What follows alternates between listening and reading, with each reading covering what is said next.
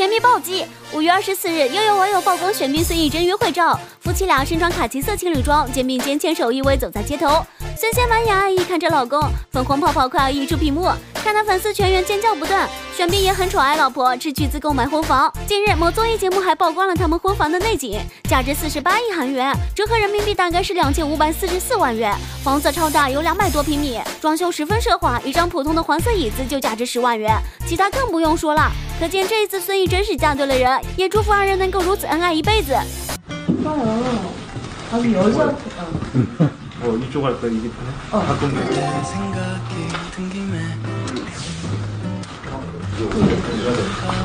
감아봅니다